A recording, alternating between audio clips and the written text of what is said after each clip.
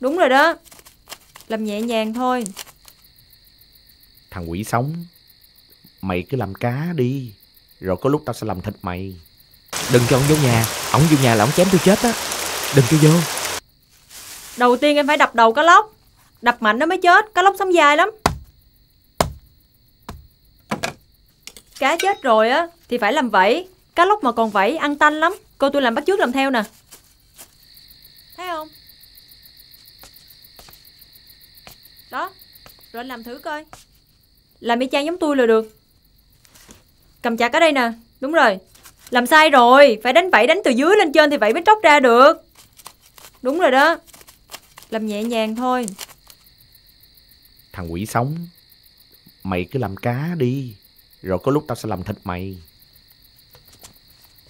Mũi dao của anh phải chạm vô thịt cá thì vậy nó mới tróc ra được. Rồi đúng rồi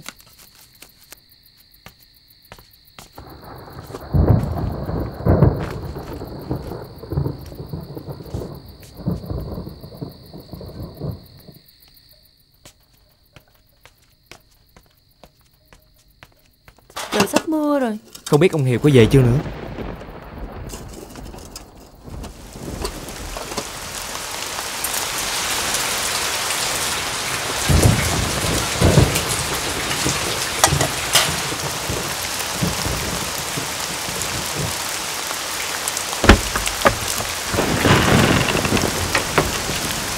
Bộ anh bị điên hay sao?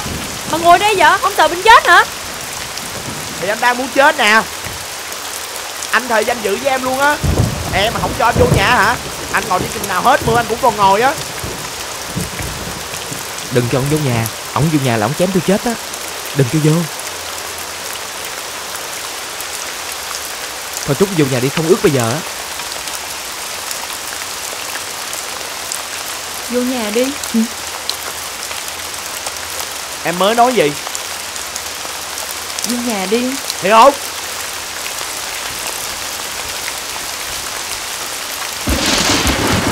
Không có được quậy anh Nam nữa đó nha.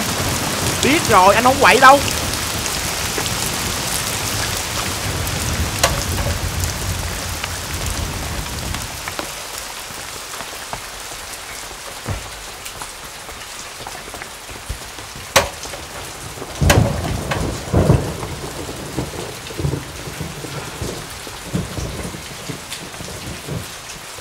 Thơm quá Đói bụng muốn chết luôn. Hai người làm quà nhau đi. Ê Gì vậy? Nước rớt vô mâm cơm. Kỹ quá. Đó thấy chưa? Tụi anh thân nhau như là anh em mà nè thấy không? Thôi được rồi. Trúc nó được rồi kìa. Anh đi vô nhà kho thay đồ đi Không phải bệnh bây giờ đó. Ờ thay đồ nha. Ừ. Thay đồ xong ăn nha. Đói bụng quá. Nhớ bật đèn lên nha. Bình ắc quy ngay dưới chân tường á. Biết rồi. Trúc cho ông vô ở luôn. Hay cho ông trú mưa thôi. Tôi không biết nữa Tôi đang suy nghĩ nè. Ông mà vô Chắc tôi phải dọn nhà này mà đi quá. À. Sống chung với ông làm sao sống nổi?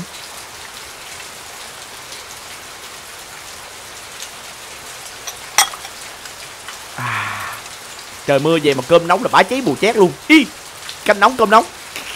Trời đã đã là đã nha. Của anh Nam nấu á Anh ăn thử coi có ngon không? Thấy không? Thiệt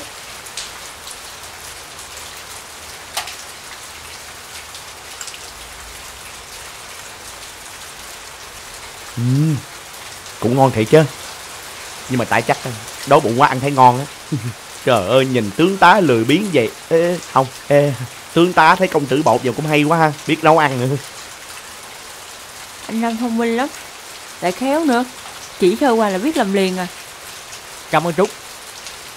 Mà anh thông minh thiệt chứ bộ. Học nấu ăn cũng mau nè Học bán sách cũng mau nè. Anh mà chịu khó ăn tí á Thì khá lắm đó nha Thì chắc là thầy giỏi Lên tròn mới giỏi. Đúng không?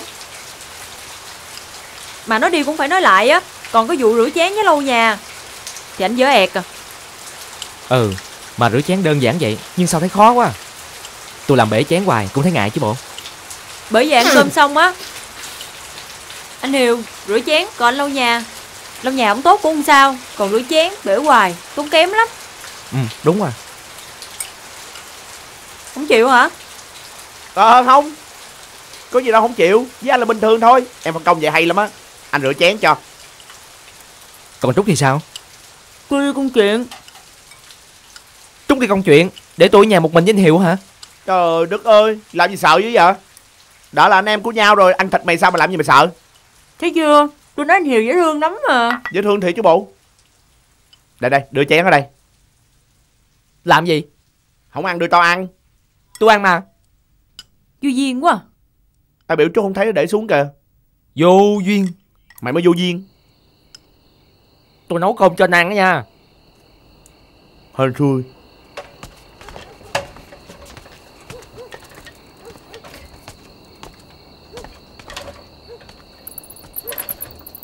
Hay là tôi đi chung với Trúc? Trời Biết tôi đi chuyện gì không mà đòi đi theo.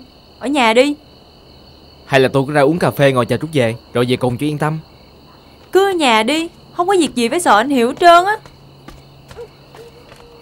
Nè Cầm theo áo mưa đi. Lát nữa trời mưa á.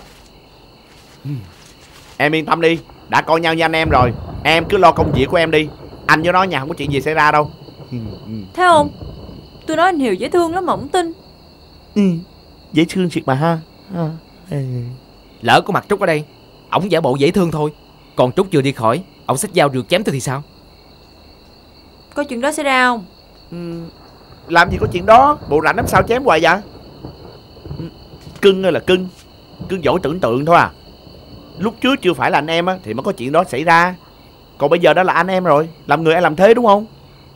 Mà đã là anh em rồi Thương nhau còn không hết. Tự nhiên mắc mới gì chém nhau ha? Thiệt không vậy? Thiệt mà. Sao cưng đa nghi quá vậy? Anh Hiểu Hả? Anh mà gây sự với anh Nam ha Là em đuổi anh ra khỏi nhà nha. Biết rồi Có một câu nói hoài. Tới lúc ông Hiệu bị đuổi ra khỏi nhà Thì tôi cũng bị rượt chém chết rồi. Trời ơi sao tức thằng cô hồn này quá? Tao có ý làm hoài với mày Sao mày kiếm cách mày chọc tức tao hoài cho mày? Bộ mày muốn chết đó phải không? Anh Hiểu Anh hiểu cái gì? Em thấy không? Nói là thằng kiếm chị với anh không á. Nãy giờ trước mặt em nó cứ nói xấu anh. Nói xấu này nói xấu nọ hoài à. Trong khi anh đâu phải là cái thằng mà Đầu đường xó chợ Du không như đảng gì đâu. Đây nè Thằng này có chỗ ăn chỗ ở đàng hoàng cái mày. Có công việc hẳn hồi chứ không phải ăn bám nó nghe chưa? Tức quá đi à. Anh xách dao rượt chém tôi. Đâu chỉ một lần đâu. Mày ngon mày nhắc thêm từ chém lần nữa đi. Tao chém mày Nó giống như là đống nùi dẻ lắm luôn á. Mày ngon mày nói đi Mày nói đi. Trúc thấy chưa? Ổng làm ghê không? Ổng dữ như vậy Mà Trúc dám để tôi ở nhà một mình với ổng. Thôi. Trời nãy giờ tôi thấy anh Hiểu hiền á Chứ gặp tôi á hả Tôi cũng chém anh liền á Người ta có thiện chí làm quề với anh Mà anh cứ cố tình đổ dầu vô lửa kiếm chuyện hoài à. Tôi nè Tôi còn tức tôi còn cấu nữa Huống chi là anh Hiểu Nãy giờ trong nhà có câu này hay nhất Em nói chính xác. Bởi vậy Anh mà kiếm chuyện với anh Hiểu á Thì người bị đuổi ra khỏi nhà là anh á Wow. Chứ không phải là anh Hiểu đâu nha. Quá công bằng luôn